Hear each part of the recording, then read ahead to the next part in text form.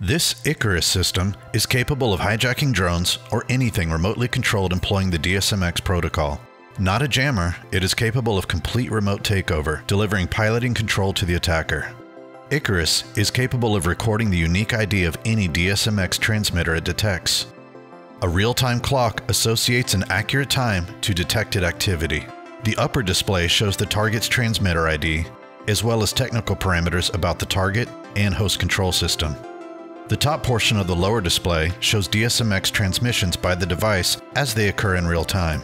As DSMX is a frequency hopping protocol, this produces a pattern unique to each hijacked target. The bottom portion of the lower display shows decoded PPM input from the host control system, much like a servo monitor in a standard radio. The RF subsystem is a standard offering similar to what is present in a typical hobbyist transmitter. As this device exploits digital protocol and timing vulnerabilities, RF amplification and the associated power consumption and regulatory issues are avoided. The drone operator begins flight. The drone operator has full control of the craft.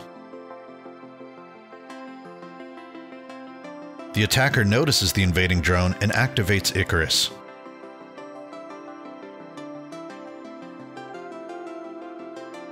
Icarus has detected the target transmitter, decoded the necessary DSMX parameters of the target, initiated the hijack sequence, and begun transmitting the attacker's control input. The attacker has now gained full remote flight capabilities, while the target is experiencing a complete lack of response to control input. The attacker now has full control of the craft.